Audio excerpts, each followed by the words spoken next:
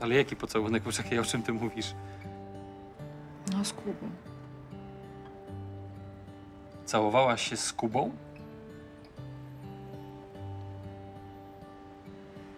Ja myślałem, że to tylko Jorka takie głupoty gada po kamienicy. Marcin, ale to naprawdę jest... Ja wtedy byłam naćpana. To... Naćpana? Ty śpasz?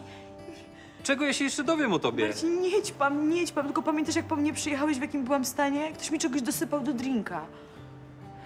Przecież to było przez przypadek. Przez przypadek. Przez przypadek się naćpałaś, przez przypadek całowałaś się z innym gościem. Co jeszcze zrobiłaś przez przypadek? Marcin, przepraszam cię. Przepraszam, nie gniewaj się. Ja się nie gniewam. Ja się nie gniewam. Ja jestem przeszczęśliwy. Może pójdziemy na kawę i ciastko jeszcze, żeby było milej.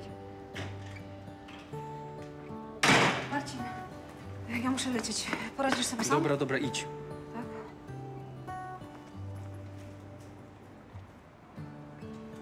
Wracam do pracy. Przecież to nie ma znaczenia żadnego. No jakie to ma znaczenie, co? Żadne. Hmm. Marcin, chodzi o to, że my z Kubą po prostu prowadziliśmy śledztwo w sprawie tej zdrady Aśki w hotelu. No i A, już rozumiem.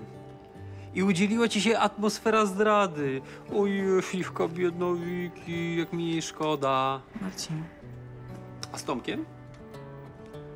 Z Tomkiem też? Prowadzicie jakieś śledztwo? Jak wam idzie? Marcin, jesteś nie fair. Ja jestem nie fair. Tak, jesteś nie fair. To ty jesteś nie fair. Bardzo nie fair.